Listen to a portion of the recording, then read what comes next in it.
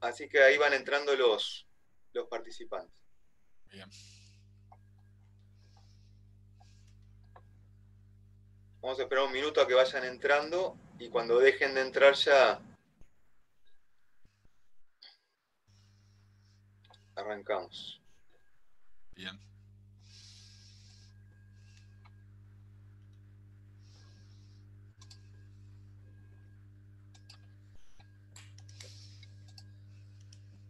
Ahí está Felipe, Perfecto.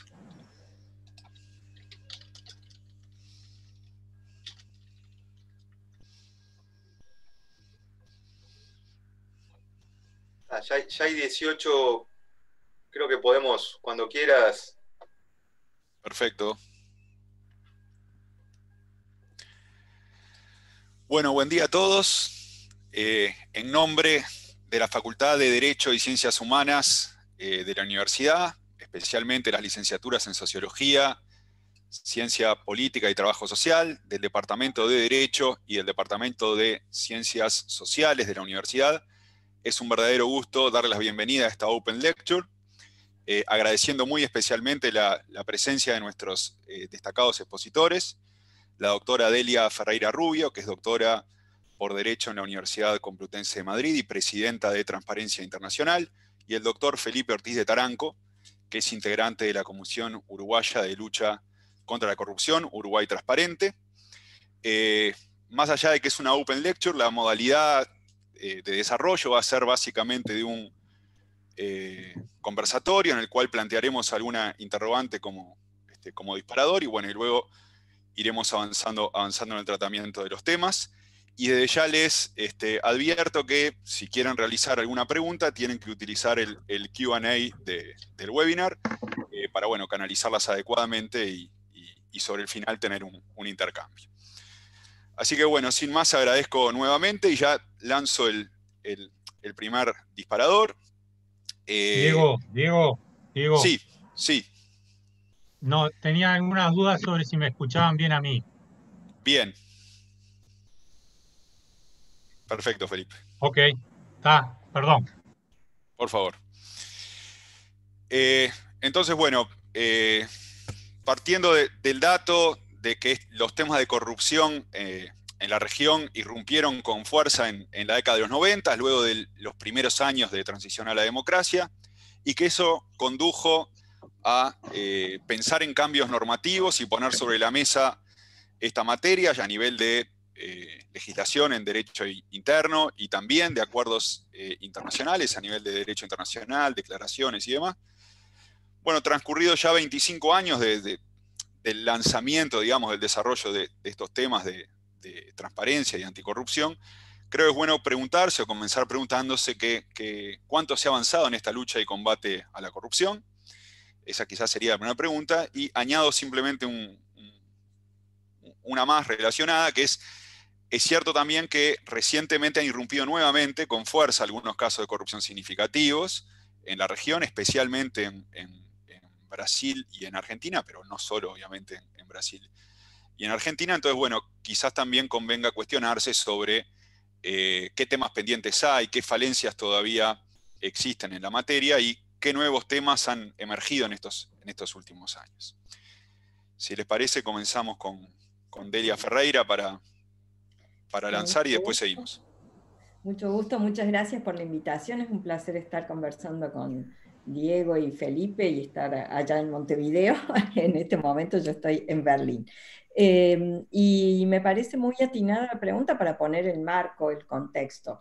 Transparencia cumple este año 27 años, Poder Ciudadano, que es nuestro capítulo en Argentina, cumple 30, o sea que llevamos tres décadas trabajando en esto y como vos decías, Diego, en estas tres décadas se ha avanzado mucho a nivel global en lo que es la generación de la infraestructura legal y, e institucional para la lucha contra la corrupción. Cuando empezamos no había tratados internacionales ni había leyes locales eh, que apuntaran al fenómeno específicamente o tipificación de la corrupción en los códigos penales, había otras figuras, no había organismos especializados y eso se ha consolidado con el tiempo. Por supuesto que es perfectible, hay países que tienen mejor legislación que otros, hay oficinas anticorrupción que, son, que están mejor ah, organizadas y capacitadas que otras, pero en general esa infraestructura está en los países. Lo que falta en muchos es la implementación efectiva de esos controles para que no quede como una lista de supermercado, tengo la ley esta, tengo la oficina aquella y el procurador y, con eso es suficiente. No es suficiente. Las leyes son importantes, pero no alcanzan solas para eliminar el fenómeno. Una cosa que se ha visto en estos años eh, es también el cambio del fenómeno de corrupción. La corrupción no es igual ahora de lo que era hace 30 años. La corrupción se ha hecho mucho más global ha empezado a utilizar o a aprovechar la tecnología para ocultar los casos de corrupción, para hacer más difíciles las investigaciones, sin perjuicio de que la tecnología puede ayudar también a la investigación, eh, y se ha hecho mucho más sofisticada. Hay nuevos actores, por ejemplo, en los casos de corrupción, como el crimen organizado, eh, a nivel global estoy hablando. Eh, hay eh, actores secundarios o actores de reparto que sin embargo han sido muy favorables a la corrupción. Es decir, un, fenómeno con el que se está luchando actualmente es el de los gatekeepers, los, los defensores o los protectores de la integridad, bancos, eh, ciertos rubros de la economía, los notarios, los contadores, que deberían operar como resguardadores de los principios de ética y transparencia y se han transformado en facilitadores de la corrupción. Así que esos fenómenos, el, fenómeno en sí de la corrupción va cambiando y eso también plantea desafíos nuevos, porque lo que era suficiente a lo mejor hace 30 años ya no lo es. Perfecto. Muchas gracias, Delia, por, tu, clara introducción a estos asuntos. Felipe, ¿cómo, ves el, asunto? Bueno, este, gracias antes que nada, por supuesto, agradecer a la invitación a participar en, este espacio. Saludar especialmente a Delia, este, por toda, felicitarla por toda su trayectoria. Ella es una referente claramente en estos temas y nosotros nos sentimos eh, muy agradecidos, digamos, por todo lo que ha luchado y lo que ha brindado para, para, para todos esos logros que acaba de, especificar. En términos generales, por supuesto que acuerdo en todo lo que dijo Delia, creo que efectivamente es un muy buen panorama, así un contexto general de lo que está en, en el momento que estamos. Este, yo reafirmaría esa sensación en que creo que los más grandes avances han estado muy vinculados a la transparencia. Sabemos bien que no es, probablemente la transparencia no es claramente la transparencia lo mismo que un fenómeno de corrupción, pero sí es verdad de que ha habido un avance importante en todo lo que significa transparentar procesos y transparentar información con el tema de la, de la incorporación de las tecnologías.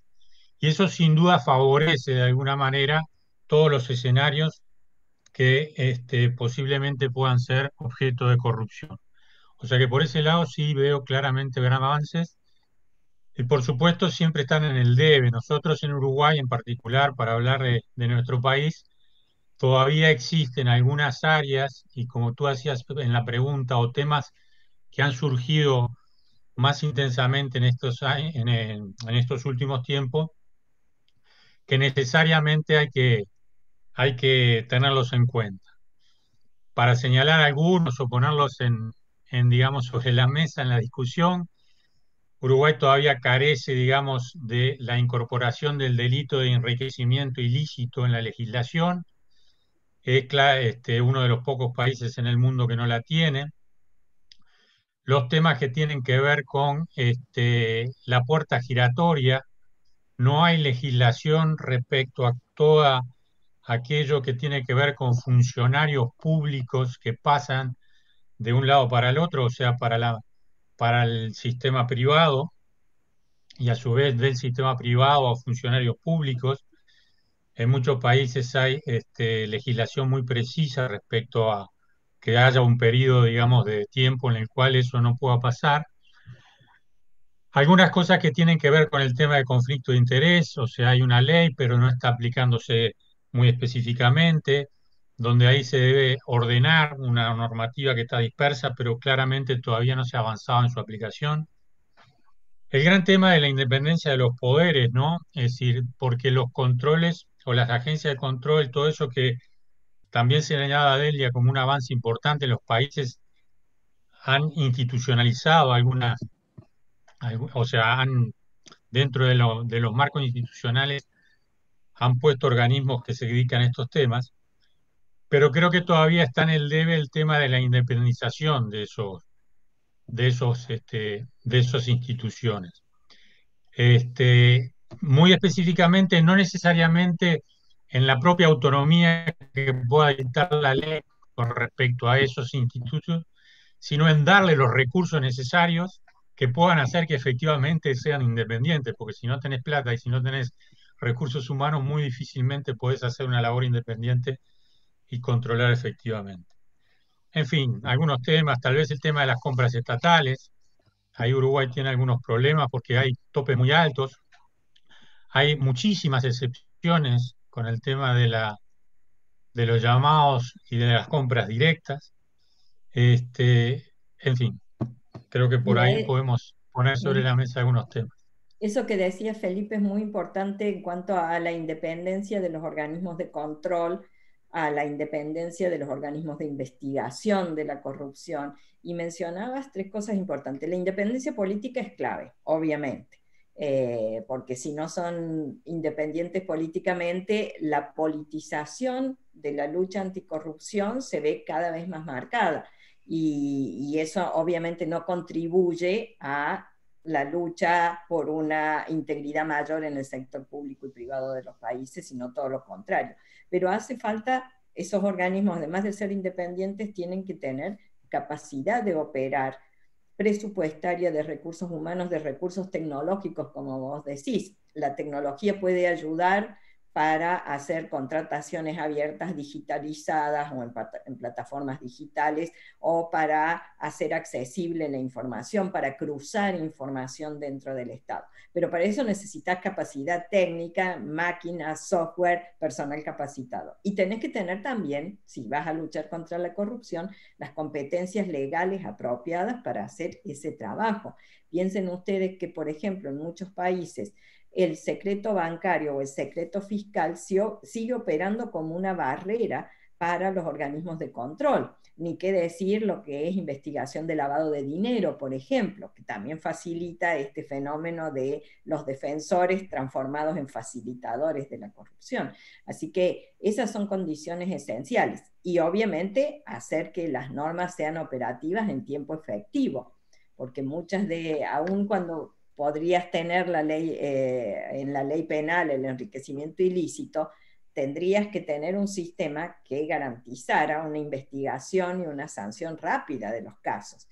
Eh, si vos tenés un mecanismo como el que tenemos en Argentina, donde los procesos eh, de, contra la corrupción o contra casos de corrupción pueden durar 20 años, obviamente ese no es un sistema efectivo, o sea que hay, una serie de factores que deben conjugarse para que eh, la lucha por la transparencia sea efectiva, digamos.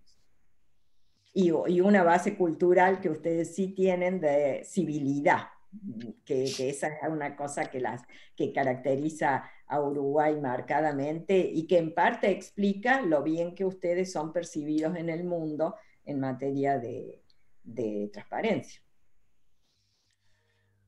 Muchas gracias, Delia y, Felipe. Este, eh, queda, claro que hay, por supuesto, cosas a, perfeccionar en el diseño institucional, en la búsqueda de independencia y también algunos cambios legislativos, algunos muy concretos que marcaba de acuerdo a la realidad uruguaya también, también Felipe. Pero Deli ha marcado una, cosa que parece muy interesante. No basta con tener este, un diseño institucional adecuado y unas este, medidas legislativas este, idóneas, adecuadas, de acuerdo a los, estándares y lo que se espera en estas materias, sino que se requiere algo más, que sean eficaces, una vigencia sociológica, eh, como, como decía Villar Campos. ¿no?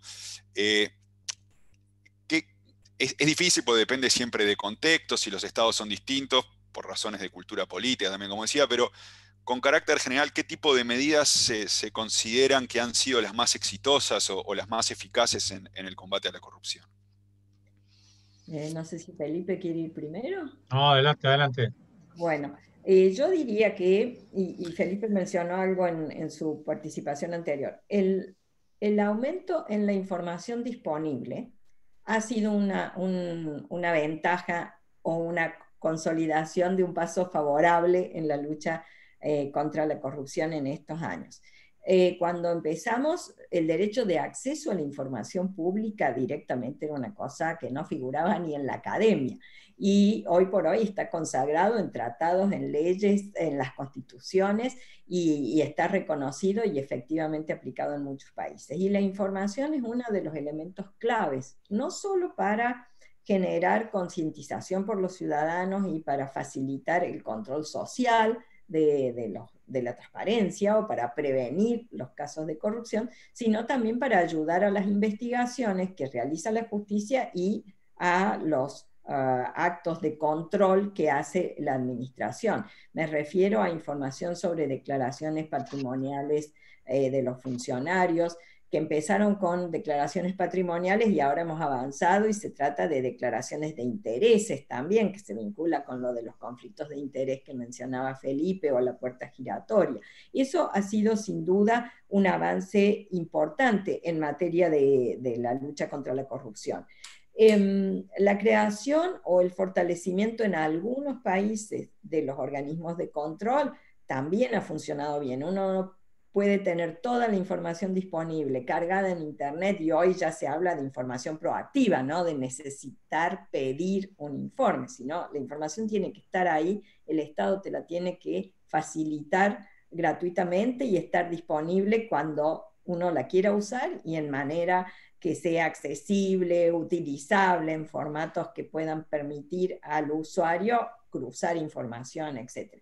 Pero vos podés tener todo, toda esa información y no tener un organismo de control eficiente que use esa información o que la cruce con otros datos del Estado. Muchas veces los, los organismos estatales trabajan como en silos y no combinan esa información de la que disponen cuando se investiga o se trata de controlar y transparentar el financiamiento de la política, por ejemplo, es muy importante que la información de contrataciones públicas se pueda rápidamente cruzar con la información de quienes aportan a las campañas de los candidatos, porque ahí surgen estos conflictos de interés, se pueden detectar.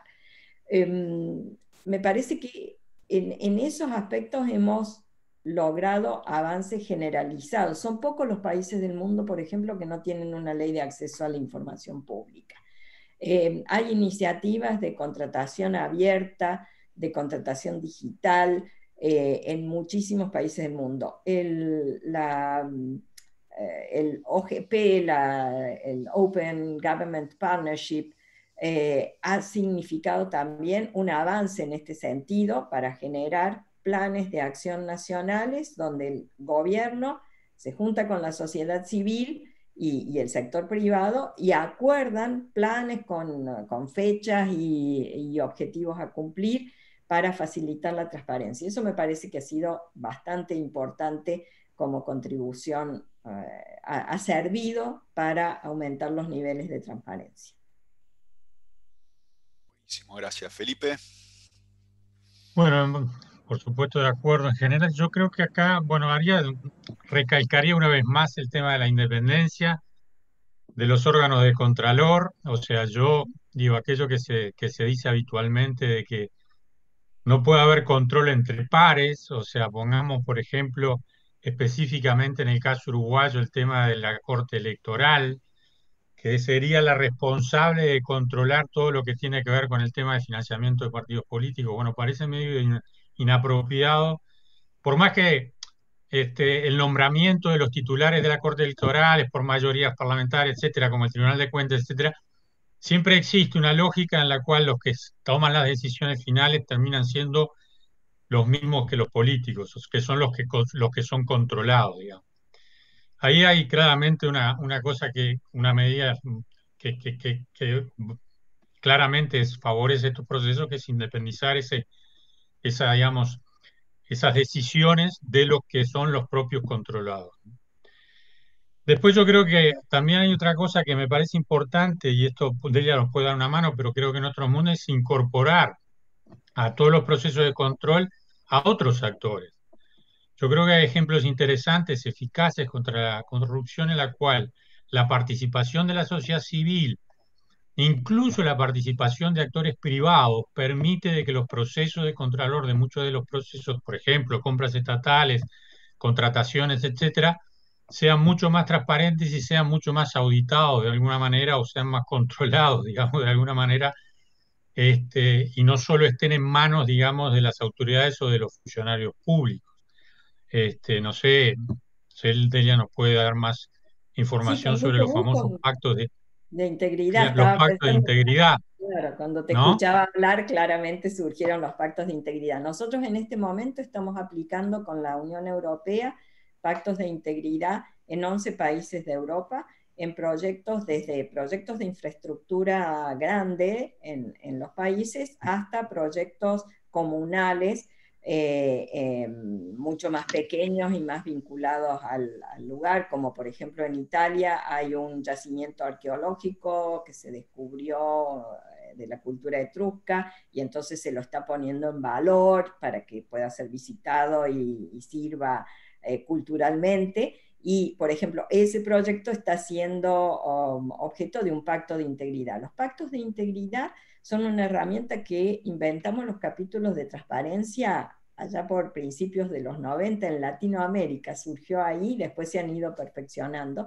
y ahora se usan en muchas partes del mundo. Suponen la intervención en los contratos públicos de un tercero, un tercero que es independiente del Estado y de la parte privada que contrata, pero los tres ah, actores acuerdan que ese privado va a tener acceso desde el día cero, es decir, desde cuando se empiezan a elaborar los pliegos de licitación hasta la entrega de la obra y va a poder acceder a toda la información, controlar concomitantemente cómo va marchando el desarrollo del proceso licitatorio y después de la ejecución de la obra y tiene la función de, por supuesto, eh, hacer conocer cuando vea riesgos de corrupción o casos de corrupción dentro del proceso para que eso se corrija sin esperar que lleguemos al final y ahí haya alguien que descubra que hubo un caso de corrupción.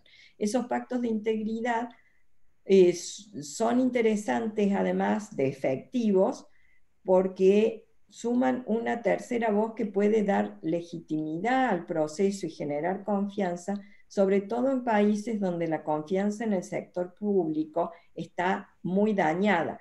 Eh, en Latinoamérica, con el gran caso del Lavallato y, Odebrecht que tuvimos eh, en, la década, hace pocos años, em, parece, parece poco, pero ya debe llevar como 5 o 6 años el, el, caso dando vuelta y afectó a 11 países de la región y dos en África, así que el esquema era realmente grande. Y en algunos países, por ejemplo, hablando con presidentes o ministros, eh, me decían, bueno, las empresas que estaban involucradas en el caso son monopólicas. Entonces, son las únicas empresas que pueden hacer determinado trabajo. Un subterráneo, por ejemplo, en Panamá. Entonces, ¿qué, ¿qué hago? Yo no tengo como gobierno otra empresa a la que recurrir. Y si paro completamente las obras, que fue lo que pasó al principio, ningún funcionario quería firmar nada que tuviera que ver con infraestructura, contrataciones, porque está, estaba en riesgo su, carrera o su reputación personal. Entonces había una parálisis de la obra pública y eso genera desempleo y, termina perjudicando a la misma gente que ya va a ser perjudicada por eh, la pérdida de dinero y de recursos en materia de corrupción.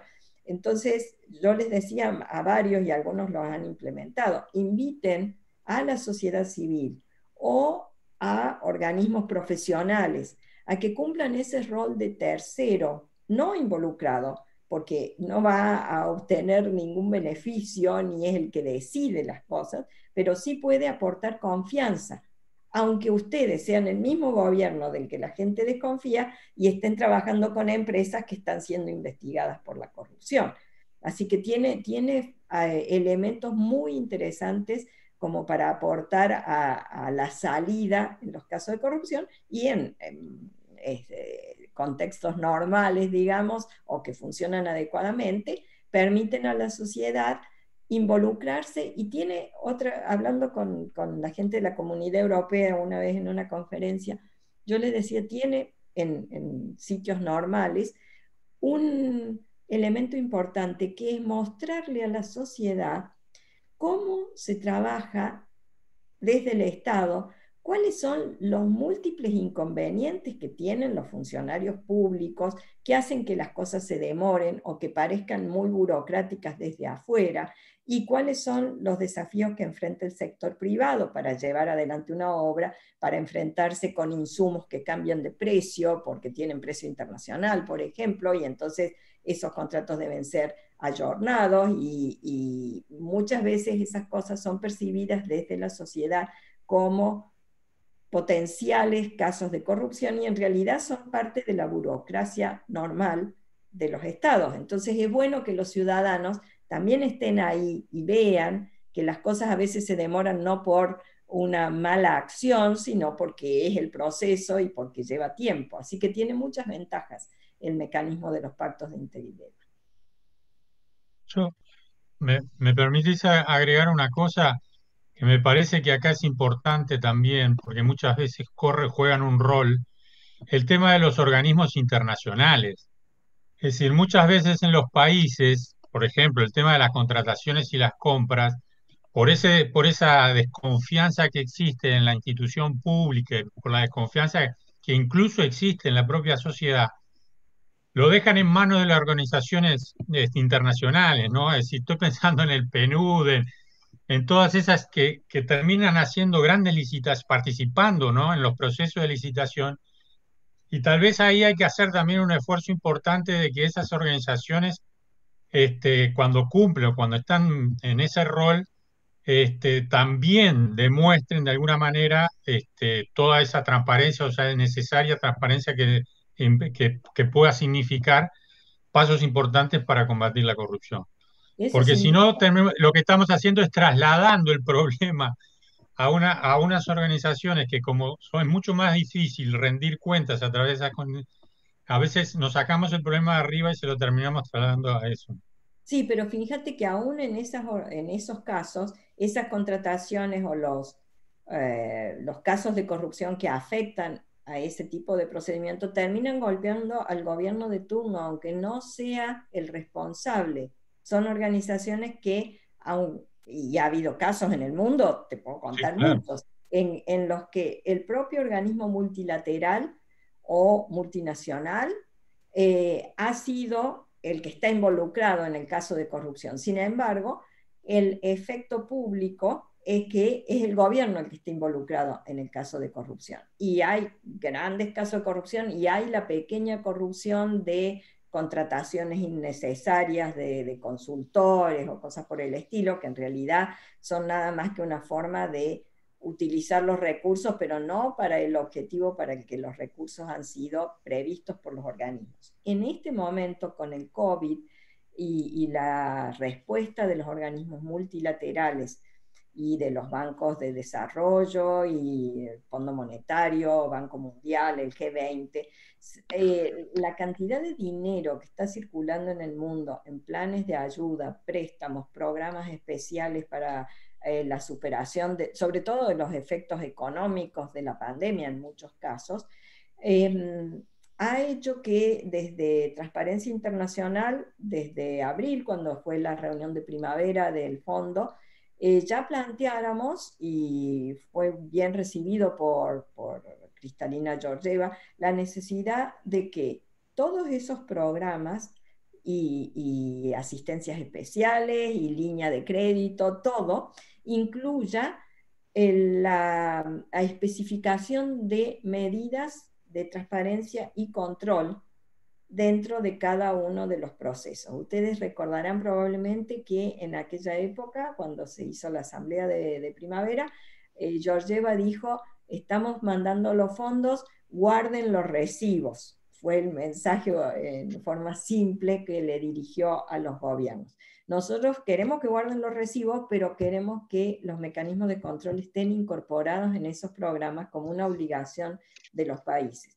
Y e insisto en un tema que, por ejemplo, en nuestra región aplica la Contraloría en Perú, que es el del control concomitante.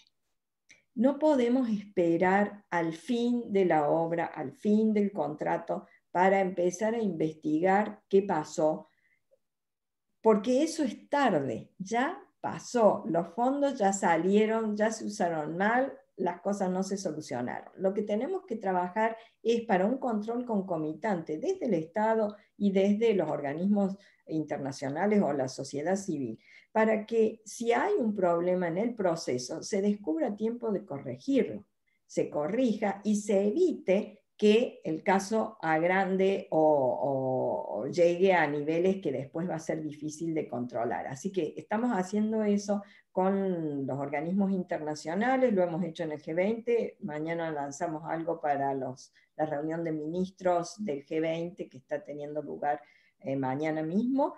Y, y, lo que estamos haciendo es, ah, hemos generado un observatorio, un tracker, de todos los planes del Fondo Monetario Internacional a todos los países del mundo, especificando de qué se trata el programa, cuántos recursos eh, involucra y si tiene o no los mecanismos de transparencia, para que no sea solo una declaración, sino garantizar que estén. Y si no estén, está público que no están y habrá alguien que se hará responsable de eso.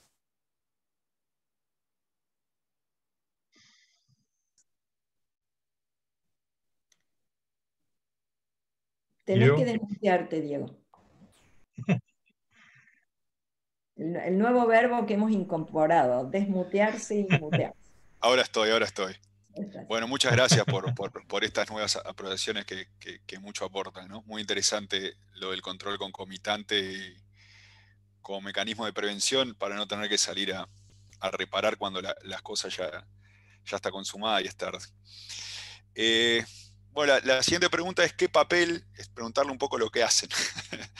Tienen las organizaciones transnacionales como Transparencia Internacional y, organizaciones locales como Uruguay Transparente en la generación de políticas de combate a la corrupción eh, y de promoción de la transparencia a, nivel local, regional e, e internacional.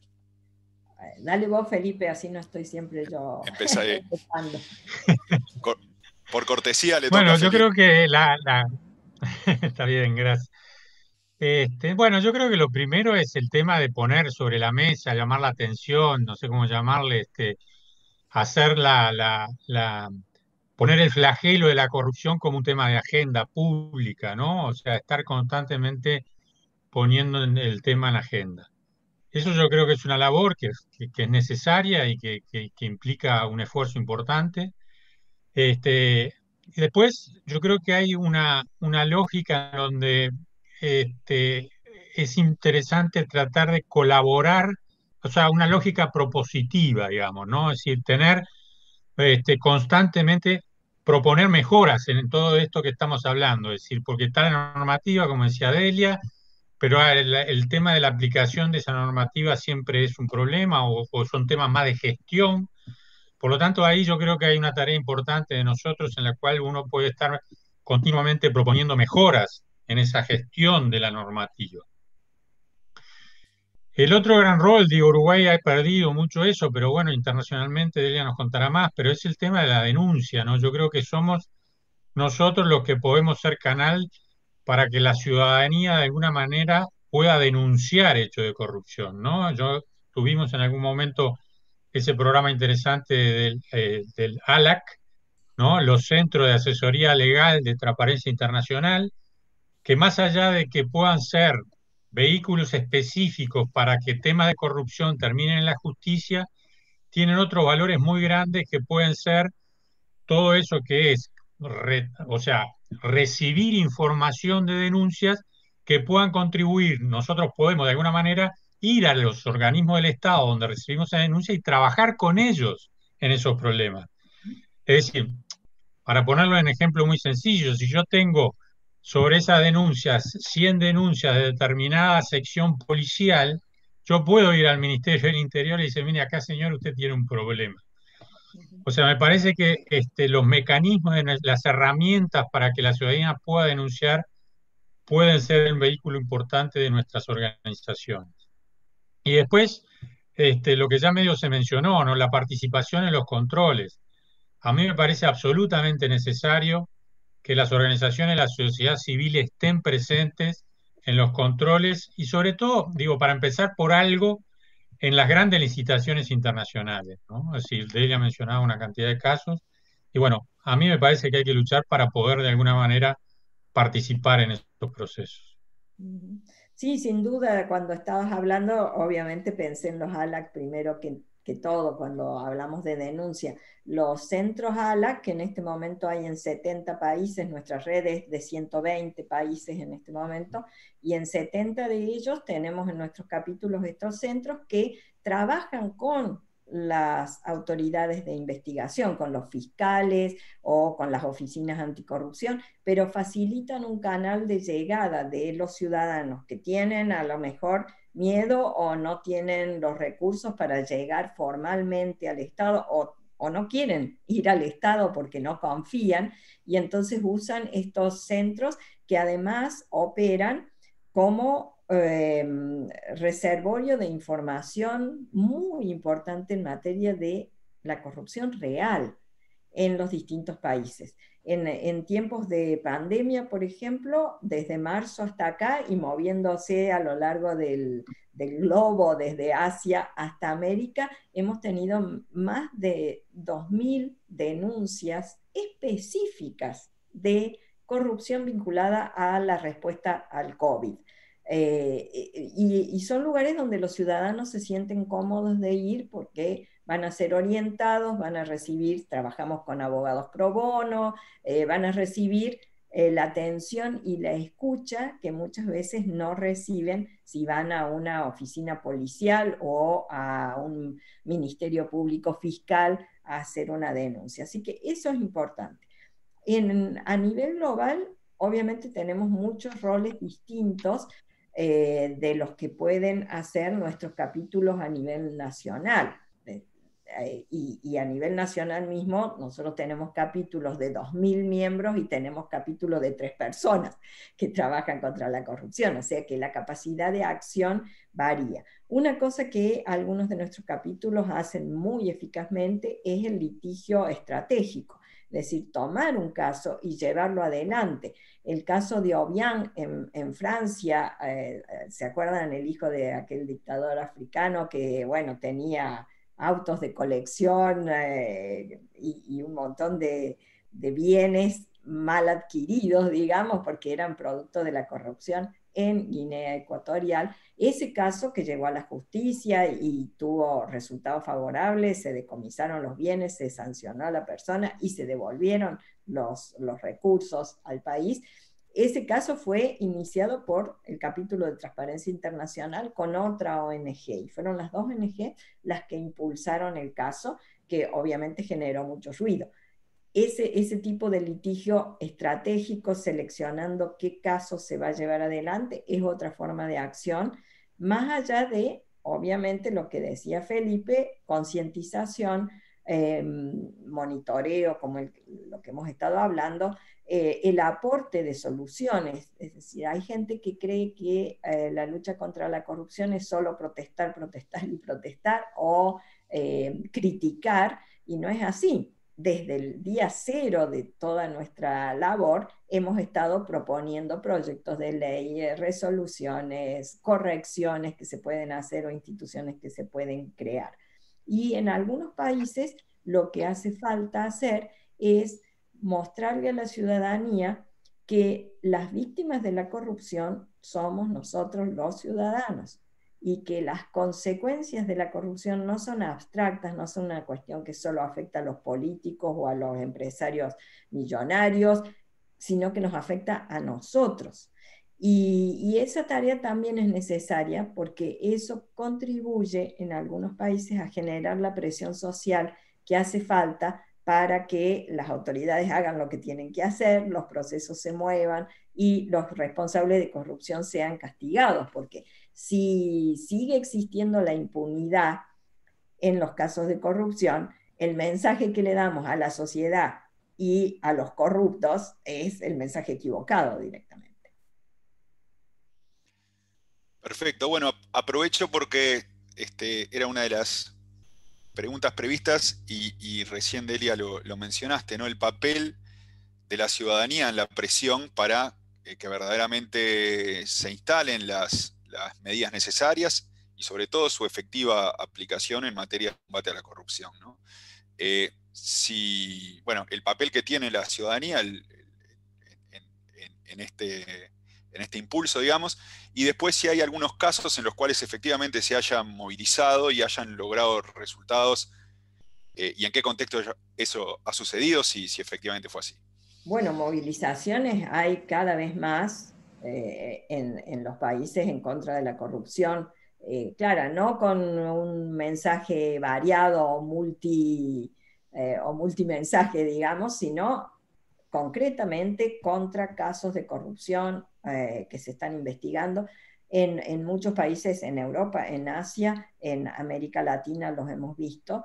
Y, esa presión en, la calle muchas veces, bueno, en algunos casos ha determinado la renuncia de presidentes o vicepresidentes o, ha servido para, quienes, para que quienes están investigando Estoy pensando, por ejemplo, el caso Moro, que se transformó en Brasil en una especie de rockstar cuando era juez eh, y llevaba adelante el caso Lavallato, lo mismo los fiscales que lo acompañaban.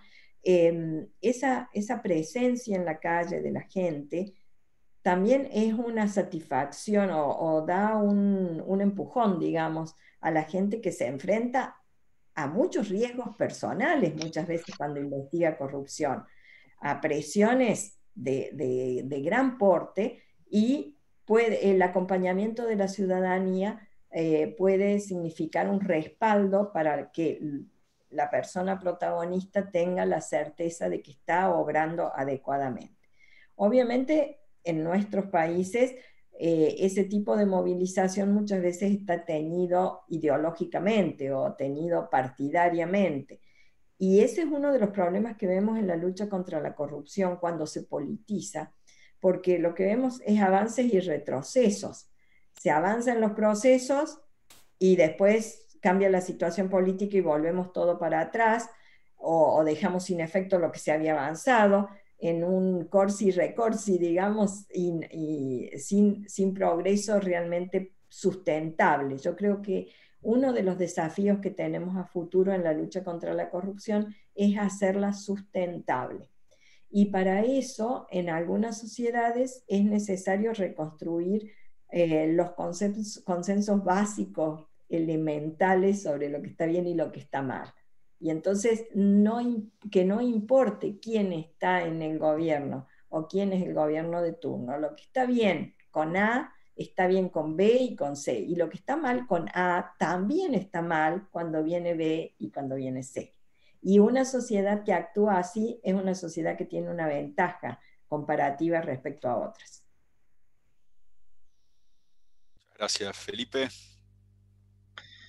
Bueno, este, acá, mirado, mirado un poco del lado uruguayo, este, yo creo que hay dos cosas. Una es un poco que todo el tema de la, de la cultura de la participación eh, de, la sociedad civil en los temas públicos, por decirlo de alguna manera, en donde está el conjunto de la sociedad civil y todo eso en Uruguay, a mí me da la impresión que es relativamente, no es tan fuerte como en otros países, es un poco débil, digamos, no hay una cultura este, muy fuerte, digamos, de participación ciudadana este, en los temas de gobierno. O sea que yo, ahí ah, tal vez hay que hacer un esfuerzo, yo creo que eso tiene mucho que ver también, eso último que decía, que decía Delia, ¿no? Con respecto de que hay que desde el inicio este, ponerse de acuerdo y fomentar algunos valores necesarios y éticos en donde todo el mundo sabe que, hay que estar de acuerdo. Pero bueno, sí hay ejemplos interesantes. Digo, yo creo que todo lo que fue con la aprobación de la ley de acceso a la información pública en Uruguay, el trabajo de CAINFO, ¿no? El Centro de Archivo de Acceso a la Información Pública y otras organizaciones que terminan en la aprobación de esa ley, es un ejemplo claro del papel de lo que puede ser un movimiento de estas características. La propia Uruguay Transparente, con la promoción de la ley de partidos políticos y bastante también participación en todo lo que tiene que ver con el lavado de activos. Es decir, este, el, trabajo en, ese, en, esa lógica de identificar, ¿ah? de ser muy precisos en cuáles, dónde están los problemas, ¿no? Es decir, de, de, alguna manera diagnosticar claramente dónde están esos problemas y proponer alguna solución. Este, yo diría por ahí. Pero además, mira, eh, muchas veces los ciudadanos no perciben eh, realmente los efectos, más allá de los efectos económicos, los costos de la corrupción. Los costos en, materia de desencanto social, obviamente, si uno mira el latino barómetro y, ve eh, la falta de apoyo en la democracia, cómo va creciendo en nuestra región, a la indiferencia que es más preocupante todavía, eh, cuando en el último latino barómetro el 28% de la población latinoamericana le da lo mismo un gobierno autoritario que un gobierno democrático. Es fuerte. Está creciendo. Yo creo que a mí esa cifra me impactó mucho más que saber que los partidos políticos están, eh, generan poca confianza o que la gente está insatisfecha con lo que la democracia le propone, porque estamos entrando en un camino que no lleva a nada bueno. No lleva a nada bueno porque además eh, los populismos o los eh, regímenes autoritarios eh, han tomado la narrativa anticorrupción, pero no la agenda. Es decir, se presentan y tienen un discurso de anticorrupción y de transparencia, integridad y servicio público, pero cuando llegan los bifes, cuando hay que actuar, esa, no está la agenda, está solamente el discurso y eso es sumamente peligroso. Si ustedes revisan el mundo, más allá de los casos que nosotros conocemos en Argentina de Once o Cromañón, que fueron casos clarísimamente consecuencia de eh, la corrupción y, y significaron muertes de la gente. Acuérdense del caso del ferry en Seúl, que se hundió y murió muchísima gente. Y era porque se había pagado una coima para que nadie controlara el exceso de pasajeros que había. En, China, una fábrica química en el 2015 estalla, cientos de muertos. ¿Qué había pasado? El dueño de la fábrica era un eh, personaje de gran influencia con el gobierno y el Partido Comunista. Y por eso tenía el permiso y nadie controlaba nada. O sea que lo que estamos hablando es de vidas de personas o de futuro de personas o de la educación de las personas. De eso estamos hablando. Este no es un tema abstracto y no es un tema de los políticos y los empresarios y algunos que nos gusta patalear. Es un tema de todos los ciudadanos, porque el dinero que se va en corrupción es el dinero que falta en salud, que falta en educación, que falta en infraestructura y, eso eh, se nota en todos los países. Y con esta pandemia se ha notado también cómo algunos sistemas de salud estaban absolutamente desguarnecidos porque los presupuestos públicos no habían ido donde tenían que ir.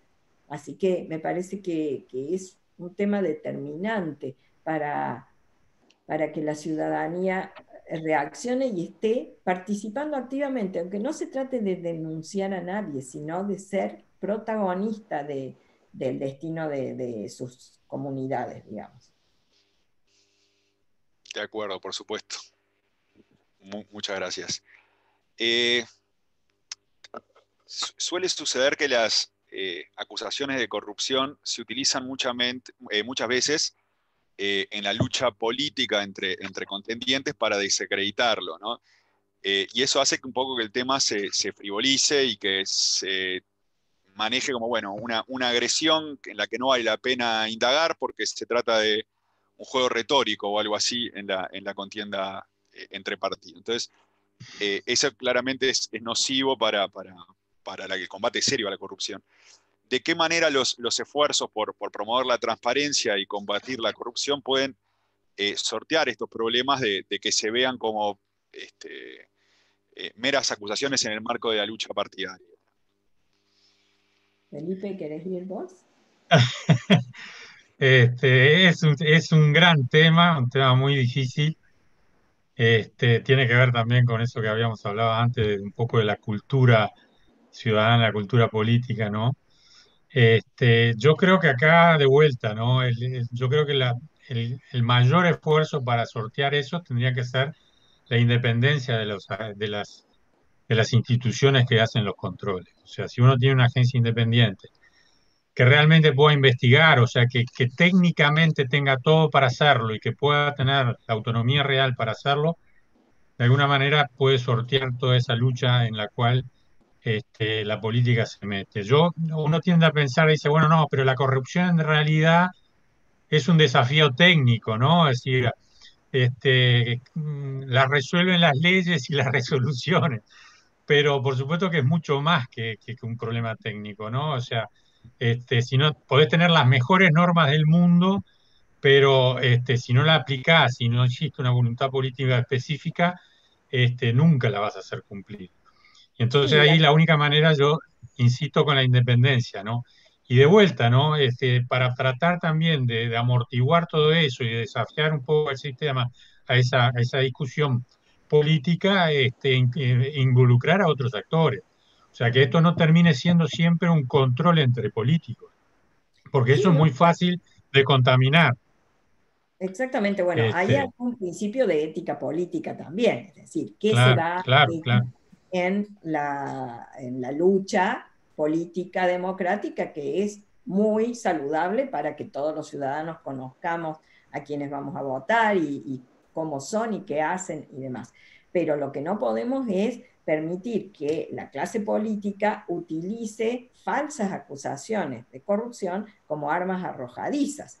La única forma de parar eso, bueno, en algunos países, por ejemplo, hay eh, acuerdos que firman los contendientes en una determinada contienda electoral sobre qué se va a poder hacer y qué no, y cuáles son los principios de una eh, competencia democrática, digamos, por ejemplo, involucrar a las familias de los candidatos, a veces se, aclara que no se van a usar ese tipo de argumentos en el discurso político contra el adversario del momento. Y eso puede contribuir, si, si es que no es la práctica común de cómo se hace política en un país. Y si la práctica es arrojar... Eh, acusaciones de corrupción a diestra y siniestra, la única forma de parar eso es demostrar que esas acusaciones son falsas. ¿Cómo? Bien, eh, si se trata de simples eh, noticias falsas o fake news, bueno, habrá que hacer los chequeos correspondientes, el periodismo de investigación puede ayudar en eso para decir, no, esto es falso, esa cuenta no existe o este señor no es el mismo que el otro, o cosas por el estilo.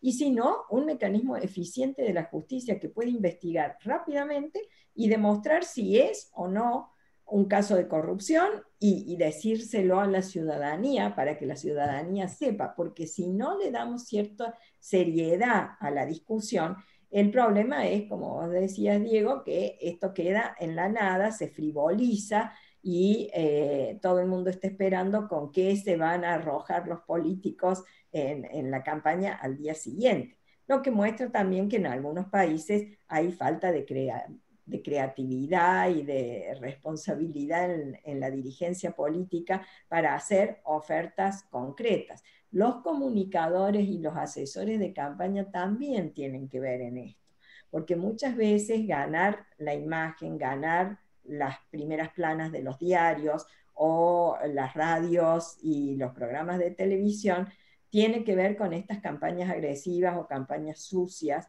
y, además la dinámica de los medios es la del discurso rápido, veloz, la frase hiriente y muchas veces hay quienes creen que esa es la forma de ganar al electorado y entonces ese es el consejo que le dan a los dirigentes políticos en competencia. En todos los temas de, corrupción o de, integridad, la última barrera contra eh, la actuación incorrecta, digamos, es la persona. La persona siempre puede decir no.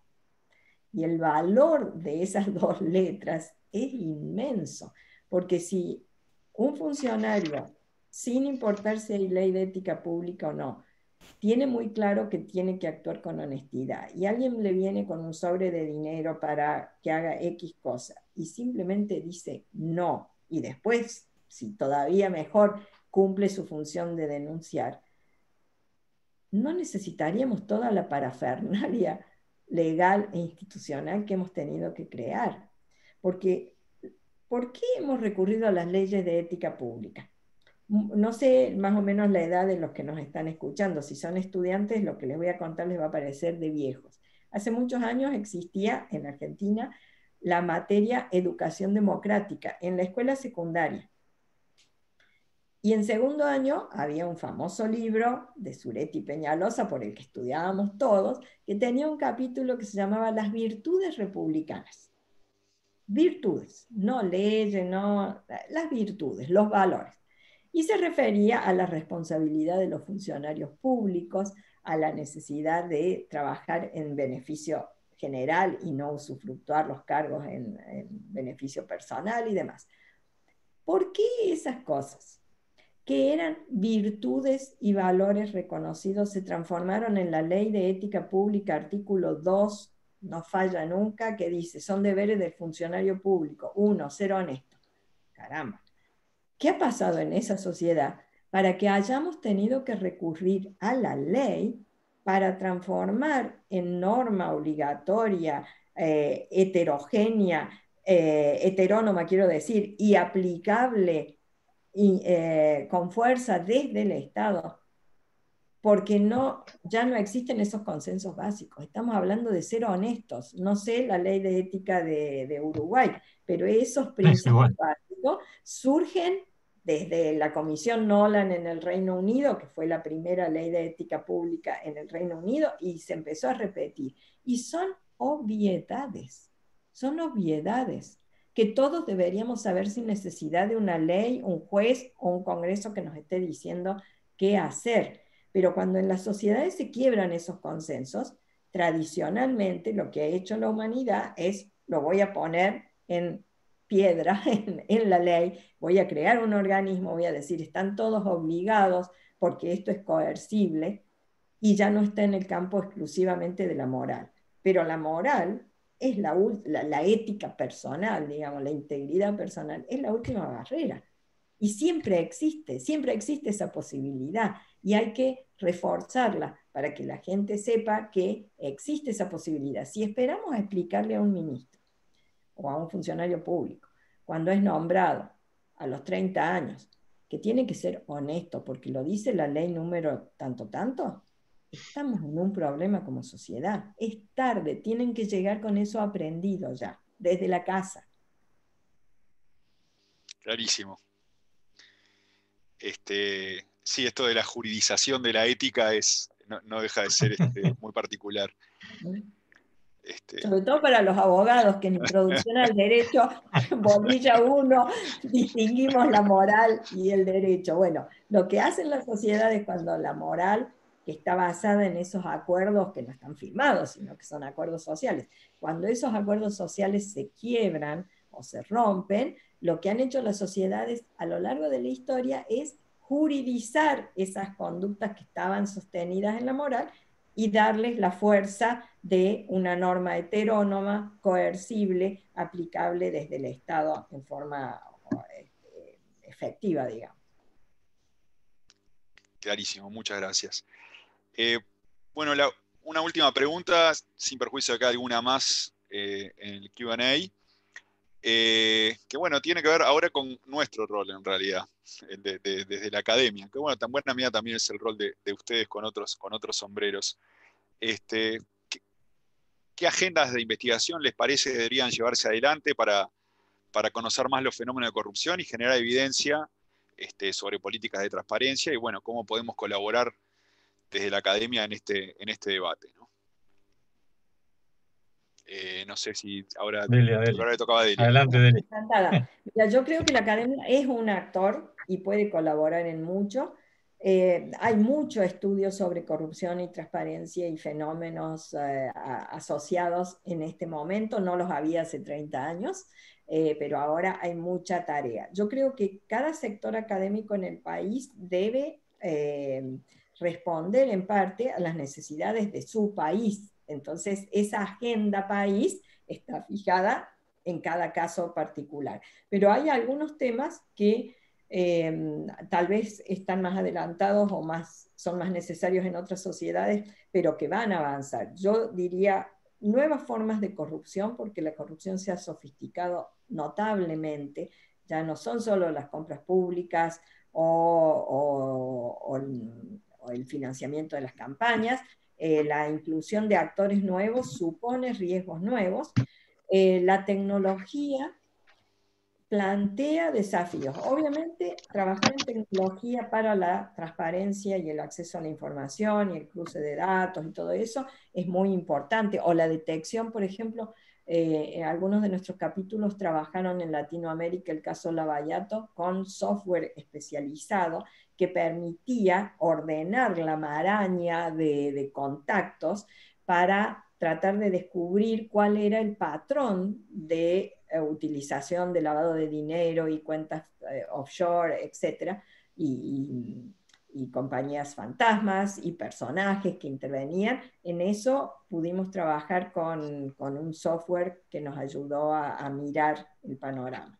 Esa contribución es importante. Es importante cualquier contribución que favorezca los mecanismos que el Estado usa para contratar, para recoger información, para hacerla accesible. Pero yo creo que el gran desafío, y ese es un tema que en algunos países ya se está estudiando y para mí es fundamental, es todo lo que tiene que ver con la inteligencia artificial y el uso de esas herramientas para decisiones de políticas públicas. Y me parece que ahí tenemos un campo fenomenal de mucho riesgo para derechos humanos, privacidad, libertad, igualdad, inclusión en las sociedades. Eh, no sé si ustedes están familiarizados con lo que pasó hace escasamente un mes en el Reino Unido con los exámenes. El Reino Unido tiene un sistema de exámenes terminales en los ciclos y obviamente este año no se podían hacer presenciales porque las clases se habían interrumpido con, la pandemia. Entonces, la Oficina Central de Exámenes del Reino Unido decidió que iba a usar un algoritmo para calificar a los alumnos, a todos los alumnos británicos del sistema educativo británico. Eh, en lugar de pedirles a los docentes que habían estado trabajando con esos alumnos durante una parte del año que hicieran una evaluación. Y el resultado fue trabajar con un algoritmo que tomaba en cuenta el perfil anterior del alumno y el promedio de la escuela que asistía. El resultado fue que, supongamos que usted era un alumno brillante que se había esforzado mucho este año para tener un buen lugar en la universidad, una facilidad para, para quedar bien rankeado para entrar en la universidad. Pero como usted había sido un sabandija durante toda su secundaria, su perfil anterior lo bajaba. Usted era un alumno brillante, pero iba a una escuela pobre entonces el promedio era menor que el que usted podía obtener personalmente. El resultado fue un escándalo nacional, con gente en la calle, con pancartas gritando, fuck the algorithm. Ese, algoritmo, que después se corrigió porque se dejó sin efecto, las autoridades dijeron los profesores van a evaluar, universidades esperen, no avancen con estos resultados porque estos resultados no reflejan la realidad, ni son, ni son justos, ni están valorando la performance de los alumnos. Y fue un algoritmo. El algoritmo como algoritmo funcionó perfecto, pero generó una injusticia terrible. ¿Por qué? Porque el algoritmo y la, el aprendizaje de máquinas, el machine learning, está primero que está diseñado por personas que pueden tener eh, sesgos y los pueden incorporar en esos algoritmos. Están basados en información anterior. ¿Cuál es la información que se carga para generar esas respuestas? Eh, pueden estar otra vez en el Reino Unido, se ha descubierto que el lector de, de fotos, el escáner de las fotos de los pasaportes que se pueden gestionar online, discrimina a las mujeres de raza negra o de piel negra por una condición de las fotografías que hace que el algoritmo, alimentado para identificar caras con una gran profusión de caras blancas, no identifique correctamente las caras de las personas de raza negra. Ustedes están escuchando lo que les estoy contando. Un caso de discriminación absoluto algoritmos utilizados por el Estado para prestar un servicio público como es el de la documentación. Ese es un desafío fenomenal, además de venir acompañado con una concentración de poder que no tiene nada que ver con las concentraciones de poder que estamos acostumbrados a luchar. Nosotros estamos acostumbrados a luchar o a, defender o a enfrentar a los presidentes, a las legislaturas, al poder judicial, a los organismos de control, a los empresarios, si ustedes quieren. Detrás de la tecnología hay una concentración de poder y no me refiero solo a las nueve grandes o a las cinco grandes, según si incorporan a las chinas o no. Este es un fenómeno de poder nuevo. Y para para luchar contra la corrupción hay que poder controlar al poder con el objeto del el bien público. Bueno, ahí hay un campo de investigación que debe ser tratado en forma eh, multidisciplinaria. No podemos dejar las cuestiones de tecnología, de redes sociales, a legisladores que confunden Apple con, con Microsoft o con Facebook. No podemos dejar eso en manos de simples funcionarios públicos o abogados que redactamos normas. Esto es algo que hay que trabajar con el sector tecnológico porque si no entendemos el fenómeno, es absolutamente imposible que lo controlemos adecuadamente y que generemos las herramientas adecuadas.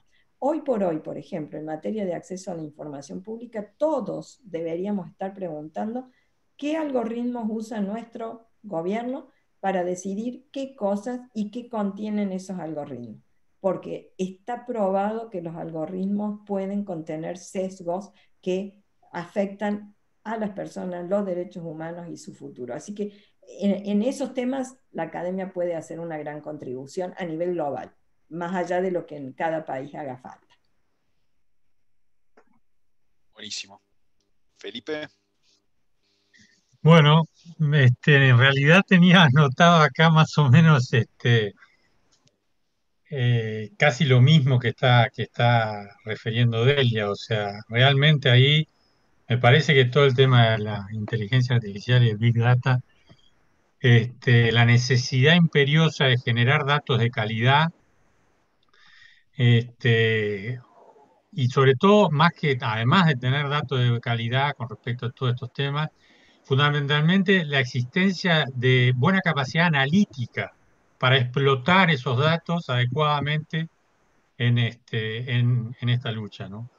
Y yo creo que ahí está una de las tareas realmente de la, de la academia importante. Yo creo que más allá de todas esas cosas que, que ella mencionaba por el lado negativo de, este, de la construcción de datos, de los algoritmos, puede haber una cantidad de utilizaciones positivas de esa herramienta para procesos muy complejos que a veces terminan este, resolviéndose de forma subjetiva y que esto puede ayudar mucho, ¿no? Todo lo que tiene que ver con compras públicas, por ejemplo, para poner un ejemplo.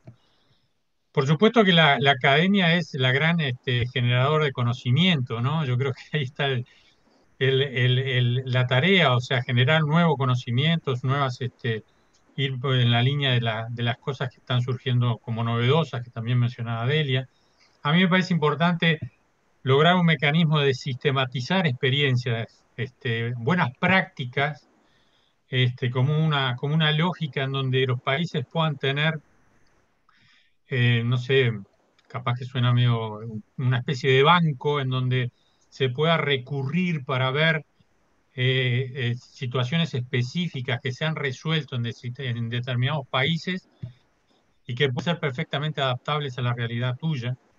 Este, ahí de repente se puede hacer con las academias programas que, que hagan sistematización de buenas experiencias con una metodología muy precisa. Y después el otro tema que a mí me parece clave, digo, es el tema de la formación humana, ¿no?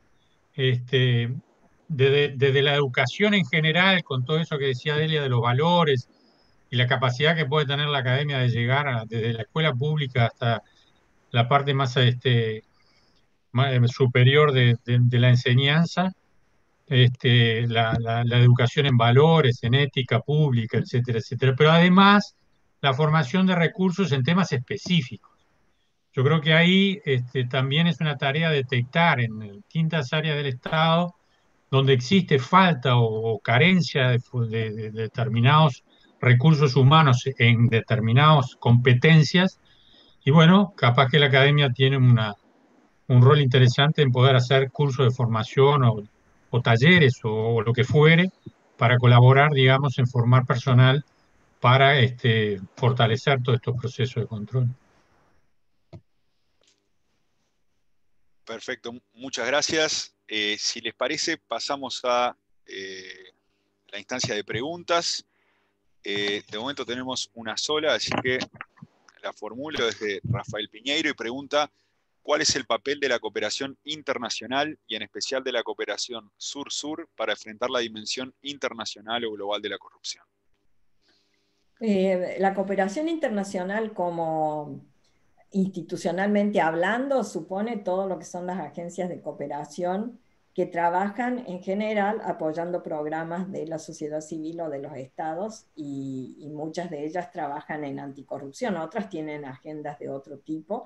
Em, una cosa que nosotros que somos una red internacional sí fomentamos es el trabajo de eh, colectivo de nuestros capítulos en los distintos eh, países y la cooperación de los capítulos latinoamericanos con los africanos particularmente ha sido muy, muy em, bien recibida en ambos extremos de, los continentes, digamos, y, están trabajando activamente en herramientas, eh, en, investigaciones que ya se han hecho o en formas de colaborar en la lucha anticorrupción, aprovechando la experiencia de los países latinoamericanos que volvieron a la democracia un poco antes de la democratización de los estados en, África. Así que esa cooperación nosotros la mantenemos, además de lo que son las prioridades globales que hacen que todo el movimiento, la red global, trabaje en determinados eh, temas.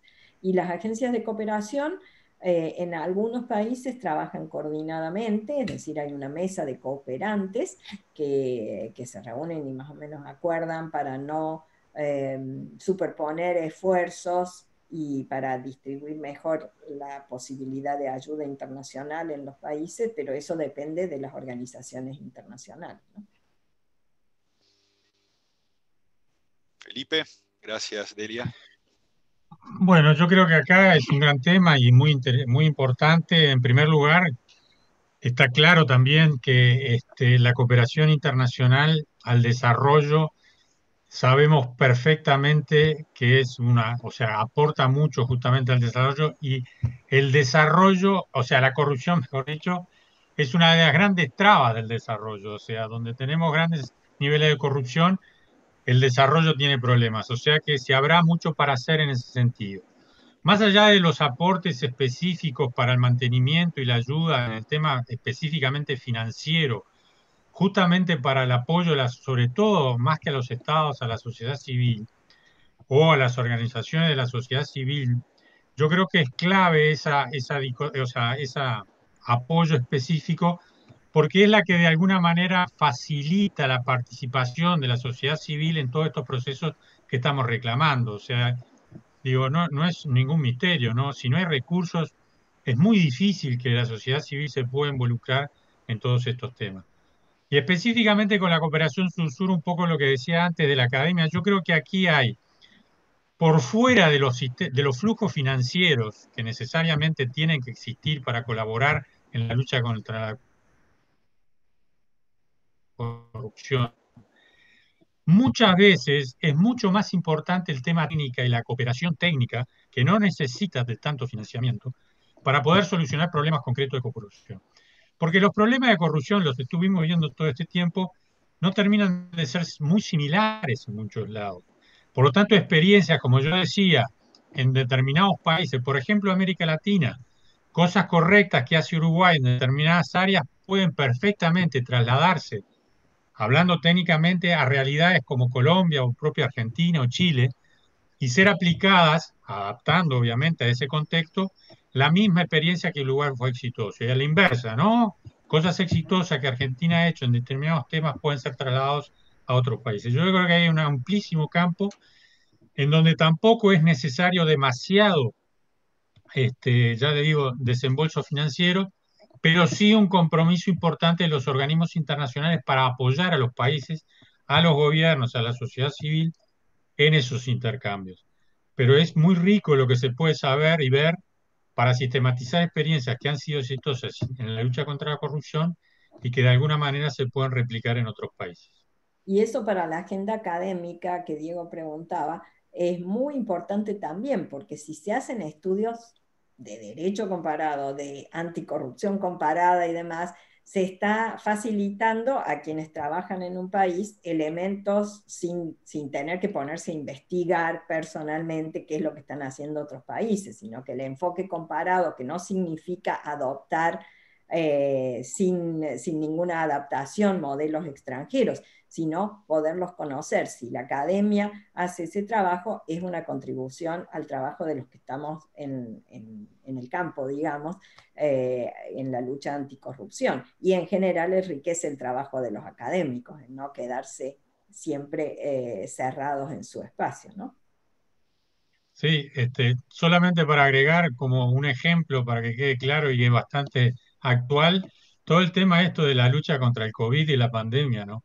O sea, son cientos de experiencias que han tenido resultados distintos en muchos países que perfectamente los organismos internacionales deberían tener un mecanismo de sistematizarlos a esas experiencias para poder aplicarlos en otros países.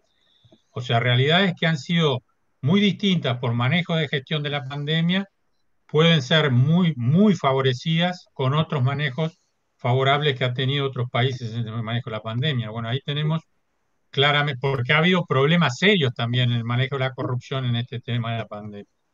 bueno, yo creo que ahí también tiene que ver. Sí, a nivel internacional hay muchos eh, trackers, muchos observatorios que van siguiendo en el mundo distintas áreas de trabajo que tienen que ver con la pandemia. Eh, la OCDE tiene un observatorio muy bueno, em, la eh, Freedom House, si no me equivoco, tiene un observatorio en lo que se refiere a medidas que han afectado las libertades fundamentales. Ah, hay un observatorio del MIT sobre las famosas aplicaciones que se crearon para mm. supuestamente detectar contagios, que fue un tema que se discutió muchísimo eh, en el mundo. No sé si Uruguay tiene una aplicación, creo que tienen una aplicación ustedes, pero no es obligatorio. bueno, Coronavirus UI. Exacto, bueno, eh, la discusión sobre las aplicaciones y el derecho a la privacidad y la protección de datos personales y la centralización o no de datos fue una discusión que aquí en Europa llevó eh, dos meses a full eh, en abril y mayo y el MIT tiene un tracker porque ha sido una discusión global sobre las distintas herramientas y qué características tienen o cómo los gobiernos las han utilizado. O sea que hay muchos trackers a nivel internacional que están eh, contemplando aspectos particulares del COVID, más allá de, la Organización Mundial de la Salud. Bueno, muy bien. Este, no, no, tenemos más preguntas, así que no, no queda más que agradecer eh, enormemente las excelentes exposiciones y el valor que nos, que nos han aportado la, eh, doctora Delia Ferreira, el doctor Felipe Ortiz de Taranco. Agradecer también a Rafael Piñeiro y Diego Hernández por, trabajar en la organización y, bueno, por generar esta instancia, este, eh, sin duda muy, muy valiosa y, que será de utilidad para los interesados y, nuestros estudiantes. Así que muchas gracias Delia y Felipe por, por participar y por colaborar con nosotros. Gracias, Diego. Ha sido un placer charlar con Felipe y contigo eh, sobre estos temas que nos ocupan desde hace años. Así que muchas gracias por la invitación. Igualmente, muchas gracias. Hasta la próxima. Muchas gracias. Hasta luego. Adiós.